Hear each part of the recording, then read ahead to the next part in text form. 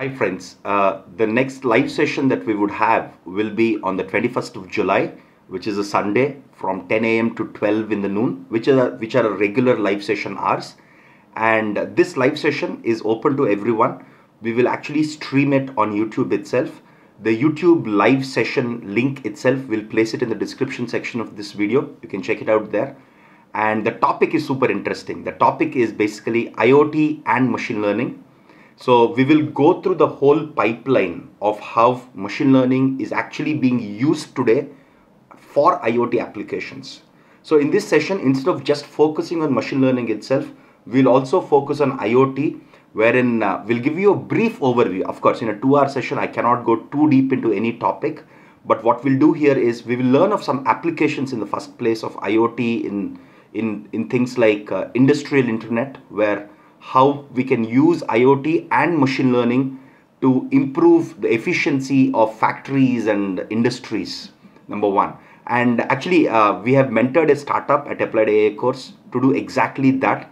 So we have very first-hand experience of how these systems at the intersection of IoT and machine learning can be built for better and more efficient systems by preventing or by, by, by analyzing data thereby predicting when the systems like like motors like uh, like turbines when would when would they have issues or troubles? Predicting them it's called preventive maintenance.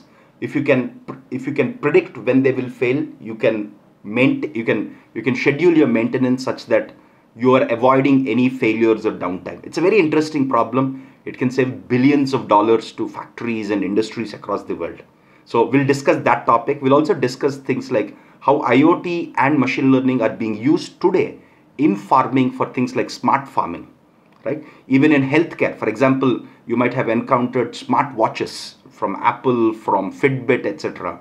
How these smart watches are disrupting healthcare itself to some extent, in the sense that they're collecting critical data like heart rate, like your sleep patterns, like your exercise patterns, and how such data can be leveraged to better serve healthcare needs, especially of elders.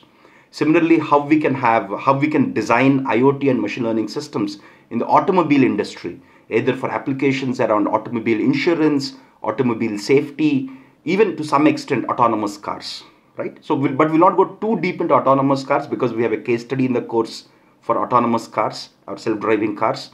So the broad theme here is how do we actually, what are the applications of IoT and machine learning, number one, Number two is how do we actually design these systems end to end? I will give you a brief overview, everything from designing the hardware components, the sensors, to collecting the data, processing the data, and building machine learning models which have real world impact. And we thought this will be useful not just for our students, for the general public.